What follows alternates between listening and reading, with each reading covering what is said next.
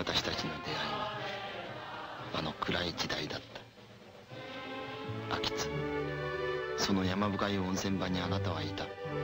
あなたの見事に健康な美しさが私に生きることを教えてくれたのだ。そして17年どうしてこんな風になってしまったのだろう。ああ信仰。そんな声で私を呼ばない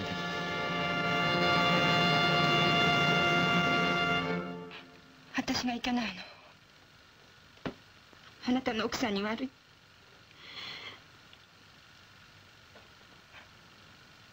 私どうしてもあなたの奥さんのこと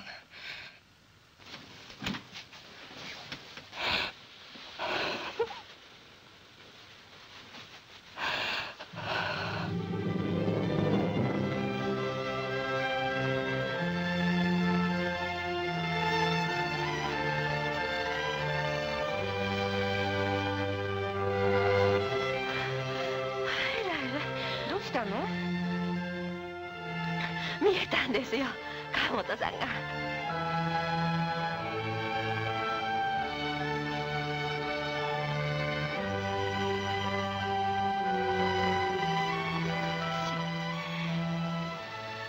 もう死ねるわ。